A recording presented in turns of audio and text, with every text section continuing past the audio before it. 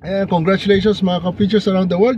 Kasama ko si Bro Darwin ngayon at Team Malaysia dahil ngayon ay napakaraming mga taga Malaysia na nag-invest dito sa Austin Homes, Mabalacat, Pampanga which is malapit sa Clark Green City. So ito yung pangalawa, no? One, two. Pangalawa yan, yan ay kay Miss Angela Sarmiento na kaibigan ni Cressy. Cressy, sister, ito na, kasalamat sa iyo at na ikayat mo si Sister Angel na mag-invest. Ito na yung kanyang bahay, ongoing na. So more or less 40% na to.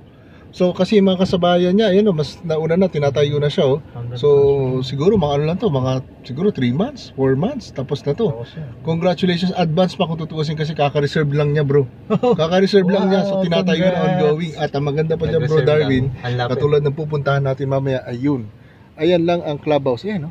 Clubhouse, swimming pool, basketball court. So, kompleto. Napakaganda. So, ayan na po ang ano, ongoing. Salamat po and congratulations, Miss Angela Sarmiento. Thank you.